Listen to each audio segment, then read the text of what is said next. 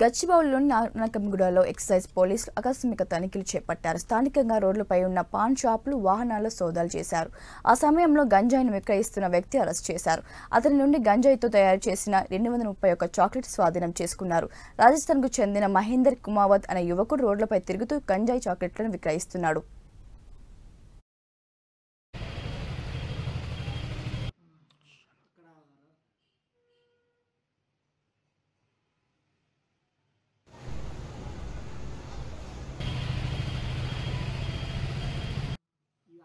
అంతకుముందు చేసేయండి మనకు చెయ్యబడి పోటీ గాంజాని వచ్చింది.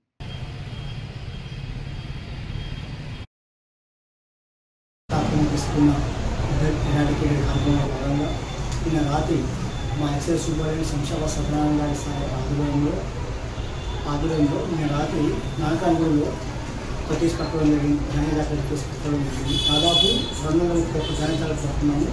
మొత్తం కలిపి దాదాపు వన్ పాయింట్ టూ కేజీస్ దాకా పళ్ళు ఇది పక్కన వచ్చేసి మహేంద్ర కుమావట్ అనే పర్సన్ రాజస్థాన్ వాస్తవుడు రాజస్థాన్ నుంచి పక్కకి పట్టుకొచ్చి ఇక్కడ నాగానూరులో ఒక స్మాల్ స్టీల్ షాప్ పెట్టుకొని అక్కడ అమ్మడం దగ్గర ఉంటుంది. సో దీన్ని పట్టుకొని జాబ్ చేసుకుని పంట చేయడానికి చేస్తాము తెలంగాణ